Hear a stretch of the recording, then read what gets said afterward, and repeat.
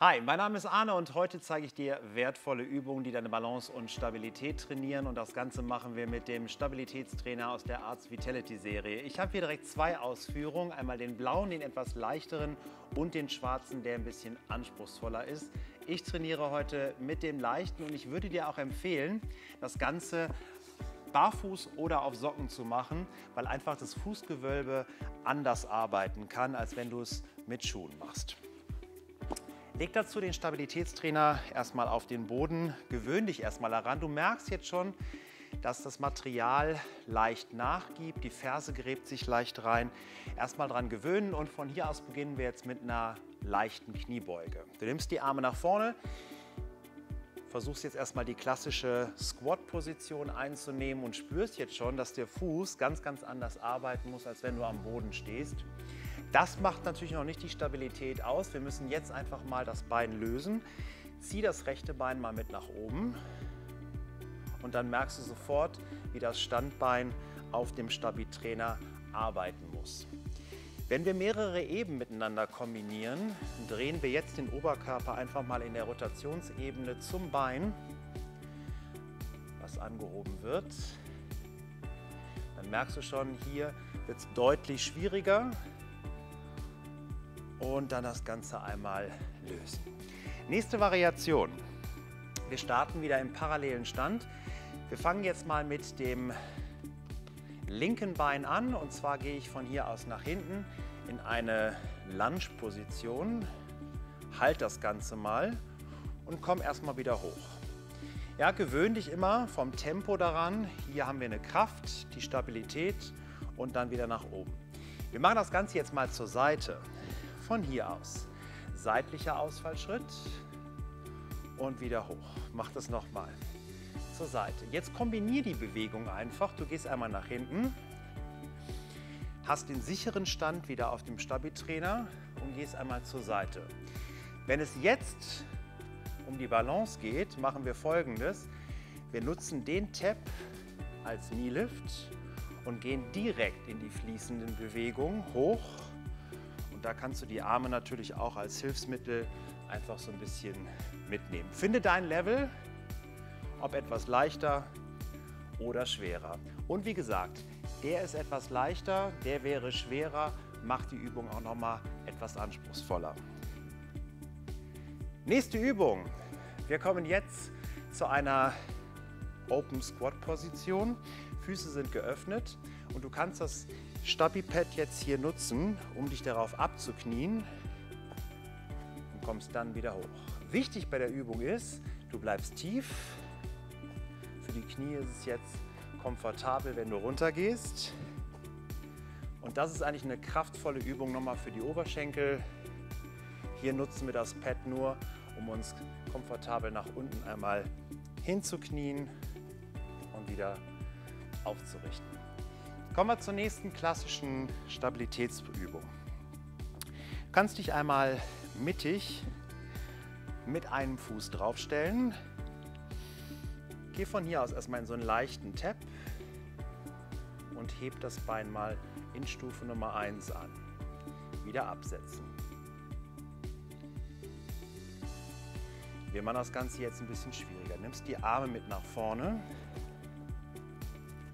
kurz halten. Jetzt siehst du schon, wie der Fuß zittert. Oder du gehst komplett in die lange Körperwaage und kommst wieder hoch. Mach das Ganze nochmal. Lang strecken, Standbein gebeugt.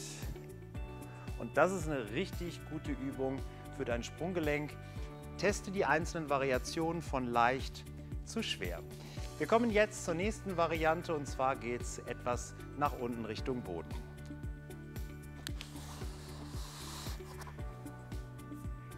Knie dich von hier aus einmal hin. Wir legen die Unterarme, wir kommen zur Plank. Stufe Nummer 1, von hier aus kannst du die Knie leicht absetzen, erstmal halten und wir gehen von hier aus in die lange Plank. Einmal anheben, stabilisieren, und jetzt dreh dich einmal mit dem Ellenbogen nach oben auf. Hier einmal halten, die Seite stabilisieren, Wechsel. Ups.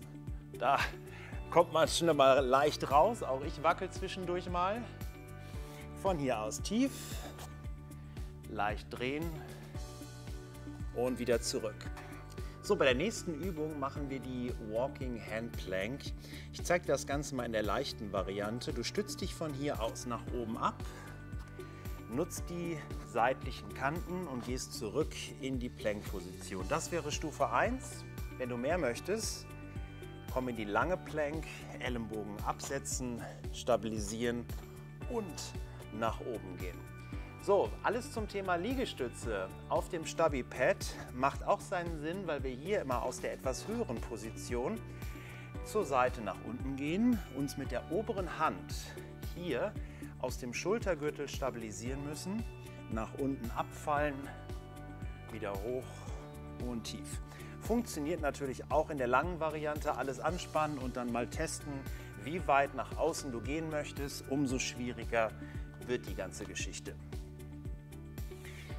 Wenn du Liegestütze mal leicht schräg machen möchtest, kannst du das Ganze natürlich auch als Kniepad nutzen. Kannst hier nach vorne gehen, dann haben wir nicht die Stabilität im Oberkörper, sondern machen das Ganze hier auf dem Pad als Knieunterstützung.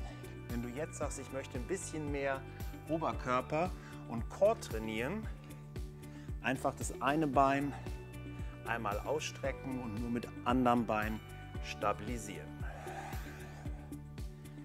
So hast du noch mal eine gute Alternative auch für Liegestütze. So, bei der nächsten Übung machen wir jetzt eine für die seitlichen Bauchmuskeln. Kann man natürlich im Liegen machen, zeige ich dir gleich. Wir starten aber erstmal in einem Kniestand. Wenn es um das Thema Balance geht, kannst du natürlich hier auch erstmal anfangen, das Bein so ein bisschen zu heben, immer mal wieder lösen, kurz balancieren. Oder du gehst hier in die etwas tiefere Position, stützt dich ab und ziehst von hier aus die Seite. Es macht einen großen Unterschied aus, ob du den hinteren Fuß, den hier, hier, einfach gestreckt hast. Ich zeige dir es mal von der Seite. Ob ich hier arbeite oder ob ich den Fuß hier hinten löse und dann eher mit dem unteren Unterschenkel mit dem Schienbein noch ein bisschen aufliege und stabilisieren muss. Probier beide Varianten mal aus und du merkst sofort den Unterschied in der Chormuskulatur. Wir nutzen das äh, Stabi-Pad jetzt einfach wieder zur Hüftunterstützung. Da kannst du dich einmal seitlich ablegen hier und dann hast du hier auch eine Möglichkeit aus diesem seitlichen Zug nach oben zu gehen oder von hier aus auch mal in die ganz lange Variante zu gehen.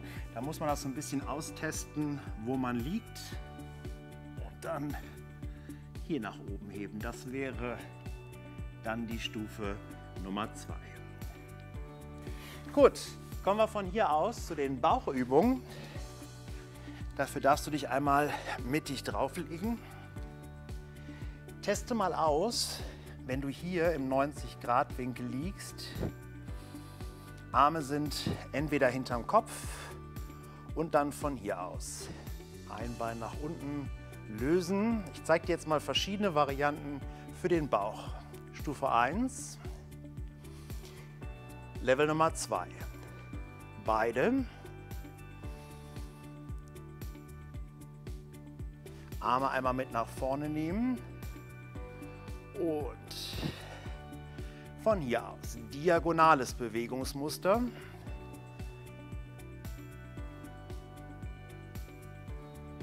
Oder du machst wirklich von hier aus den langen Crunch und ziehst dich wieder hoch.